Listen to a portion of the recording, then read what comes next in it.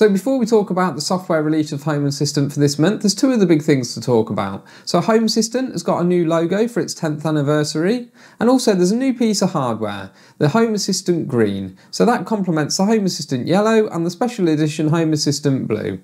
In this release, there's more tile card improvements, so it's becoming somewhat of a foundation for the user interface.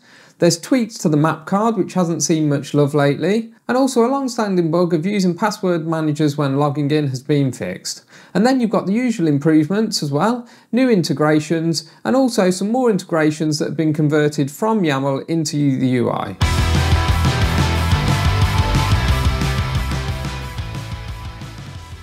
Firstly, let's talk about the new logo. Ironically, the beta release notes seem to have an image at the top which somewhat resembles the old logo, but I'll cast my opinions aside for now, and it doesn't affect anything else, it's just the logo. So, one thing to note though is that the Creative Commons license for the old logo doesn't apply to the new logo, so there's now some usage guidelines. The only thing in there that's a bit irritating is no usage of drop shadow. I imagine some creators will probably ignore this anyway. I'm not going to go into any great detail about the new Home Assistant Green hardware because people like DigiBlur have already done videos on this, so check those out if you're interested in more details. But the way I see it is that this is for beginner techies really. I was kind of hoping it was for non-techies and would get them into the ecosystem, but this isn't it. So hopefully the next piece of hardware that they release will have that and will be a bit nicer. There's quite a few things they need to do in my opinion to actually improve it and aim it at non-techies. Some of the things that I think they need to do is they need to improve the aesthetics. It needs to be a beautiful piece of hardware which doesn't have circuit boards showing for starters and something that you could place on a coffee table that would look nice in the lounge.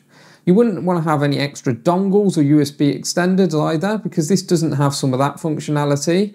And it is a fine balance, I understand that, because balancing the power of Home Assistant with the cost of CPU power means that it will affect the price. So I can understand that. I think what they might need to consider doing in the future is having starter kits, so have sensors or something like that included as well. That's a bit tricky because it's supposed to be agnostic to ecosystems, and that means that you would need to maybe partner up with people, but I'm sure there's a way they could do this.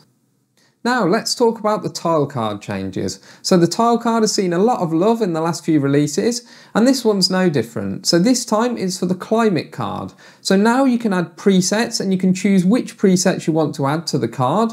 You can also choose between having them as buttons or drop down. Drop down is a bit like the old school entity, but this looks a lot nicer. And also you can have a tile card now for input selects as well. So this will just make the interface look a bit nicer as a whole. Now let's take a quick look how to do it. So as usual, I've got both versions on the screen. So I've got the September release on the left and I've got the beta release for October on the right. And you can see the dashboards are the same. So let's edit this and have a look at the tile card. So if we look under feature on the left, then you can see there's no more features, just the two we've already selected. And on the right, you can see there's a new one, climate preset modes. So if we click that, then it's added them here. And you can see by default, it's got them in a drop down. But if we do this, then you can see you can select the styles. So you can select drop down or icons, and then you can select which ones you want. So if we do icons, and you can see them all there, and if we remove one of them, then it gets rid of it. So let's save that. And there we go, some nice buttons for selecting the different presets for climate. Now let's take a look at the other addition to the tile card, and that's for input selects. So I'm going to edit the dashboard, add card. So I've got an input select here, and you can see if we go to features again, add feature, there's select options. And then this adds this drop down here, which you can even edit in here, which I think is quite neat. So then press save, done, and we're done. And you can see now this is a lovely input select. It looks a lot nicer than the original one. Well, there's nothing else to show you in the interface for this release really, but as you can see with the blind here and the climate control, the tile card's really coming along nicely. For the map card, you can now define whether the entities show the name or the state of the entity, and you can also determine which entities influence the centering on the map. It looks like at the moment these options are only available in YAML rather than the UI, but I might be wrong on this, so leave it in the comments if you think differently. Also, this is a beta release, so they might add that by the time it gets to the general release. Now the next one I haven't really come across and that's with password managers when logging in. That's because I don't really log in Home Assistant very often because it normally stays logged in. But apparently there was an issue with using password managers when logging in and that's now been fixed. There are a few other changes to mention, starting with the Home Assistant backup size. If you use ESPHome, then you should see your backup sizes of Home Assistant reduced, as long as you upgrade to the newest version of ESPHome.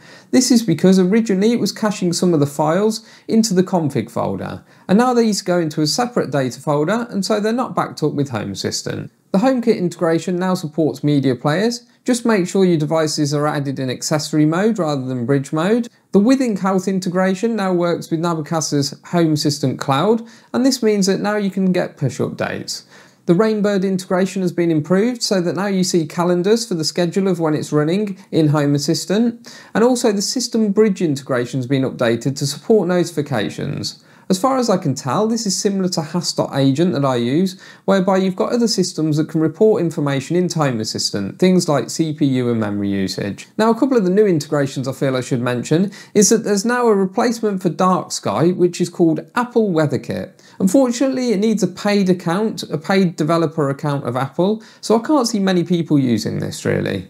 Another integration is a SwitchBot Cloud integration, which I think is a bit of an odd one because you can already use this using Bluetooth proxy and also Matter as well. IKEA motorized desk control. I think this is quite nice if you happen to have a motorized desk, then you can control this within Home Assistant. You can maybe include this as part of your scene so that when you press one button, everything just goes in the right position all at once. And a few more integrations that have moved from YAML into the UI. It's another release where I can't really see any major breaking changes. One thing to note is that for backups, it used to use UTC time as part of the file name, and now instead it uses local time. Well, that's it for this release and for this video, so please comment down below and consider subscribing if you haven't already. So thanks, until next time.